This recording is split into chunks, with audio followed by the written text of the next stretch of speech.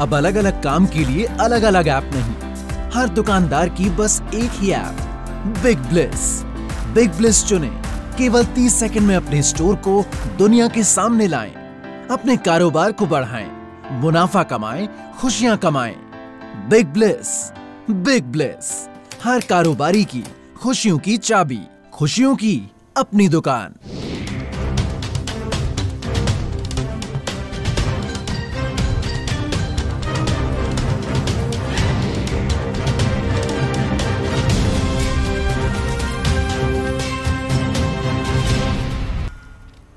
आज यानी मंगलवार को एनसीडीईएक्स पर सोयाबीन के जनवरी वायदा की कीमतों में तेज़ी देखने को मिल रही है।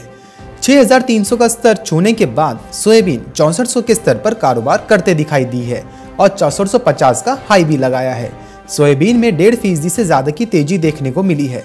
विदेशों में भी सोयाबीन वायदा में तेज़ी देखने को मिल रही है।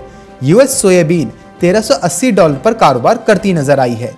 दरअसल विदेशों में सोयाबीन की कीमतों में लगातार तेज़ी देखने को मिल रही है। साउथ अमेरिका में मौसम सोयाबीन के अनुकूल नहीं बताया जा रहा है। वहीं भारत में भी किसानों ने सोयाबीन को फिर से स्टॉक करना शुरू कर दिया है, जिससे मंडियों में सोयाबीन की आवकों में कमी देखी गई है। किसानों को उम्मीद है कि विदेशों में आई तेज़ी के चलते सोयाबीन स्टॉक करने से कीमतों में उछाल संभव है। Bureau report, Market Times, TV.